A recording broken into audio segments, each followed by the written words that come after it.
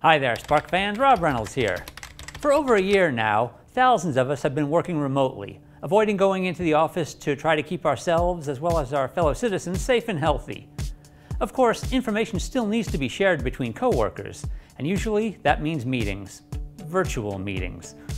I know, the mere mention of that sends shudders down the spine. But that's what life is right now, and we can either snap like the oak or bend like the reed. So we do what we have to do, and we sit through our online meetings in Zoom or Skype or Google Meets or BlueJeans or Microsoft Teams or Starleaf or whatever you're using. And maybe you get a little bit kooky and you change the background to someplace you'd rather be than this meeting. But mostly you just try to pretend you're attentive and awake and paying attention and not doze off.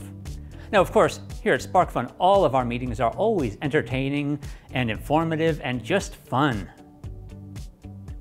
But I know not everyone is that lucky. And it is with you in mind that I've created a new project using our haptic driver. So I'm calling this project, for lack of a better name, the Haptic Heads Up. And to help me explain, I've got this guy, uh, who probably also needs a name. Oh well, so here's what I'm thinking.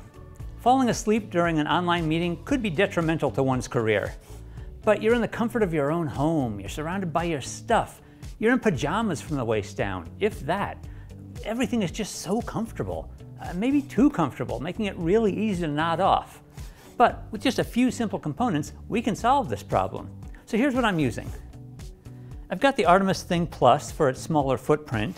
I'm using the haptic driver that we released last week. And actually, I'll probably use the haptic driver kit in my build so I can customize the length, but for demo purposes, the haptic driver. And finally, I'm using the brand new, releasing later today, KX132 triple axis accelerometer. This will be mounted on top of my head, and I'll show you what it's gonna do. I'll have the accelerometer mounted right on top of my head, keeping perfectly level, good for my posture along with the Artemis Thing Plus. Now, right behind my ear, I'll have the haptic driver. So as long as I remain upright, everything's fine. But if I start to nod my head forward, I get a buzz. Backwards, buzz. Left, buzz. Right, buzz. So head level, good. Head forward, bad. Head back, bad. As long as I keep upright, everything should be fine. Now it's going to look kind of suspect if you've got electronics mounted all over your head in a meeting. So you'll have to figure out a subtle way to mask everything that doesn't draw attention to you.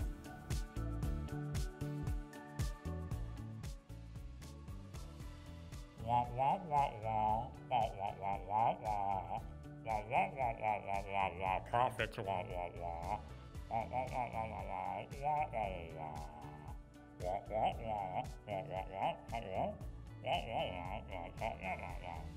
And there is a very simple demo of two of our latest products. Now, I mentioned that the head should probably have a name, and my plan is to continue to improve upon it, add more articulation, uh, more sensors, and then have it help me out with future demos, because it's creepy and it deserves more airtime. Now, I could name it, but that'd just be dumb. I mean, we're an open source company, we should open source this. So that's what we're gonna do. We are gonna let the internet name the SparkFun head because clearly I learned nothing from the Royal Navy. So what you'll need to do is head over to sparkfun.com to the blog post that contains this video. Uh, the link will be in the description. In the comment section there, leave your suggestion. What do you think this head should be named? Now, our crack team of nomenclature specialists will then go over it and look at the upvotes for each of the comments, and from there, pick a winner. So the winner will not only have the pride of having named the SparkFun head, but we're also going to send you one of each of the three components that I used in this build and some Qwiic cables to hook it all up. That's right, free stuff. Who doesn't like free stuff? Now here's the important thing. You've got to comment over on our blog post at sparkfun.com.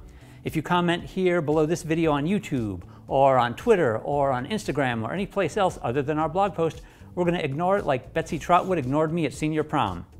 So head over to sparkfun.com, name the head. Until then, happy naming and happy hacking.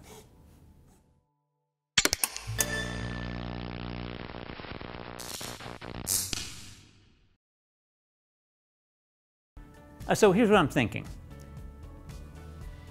I'm thinking about something. and here to help me explain it is this guy, who I should have plugged in. Okay, I know what I'm thinking.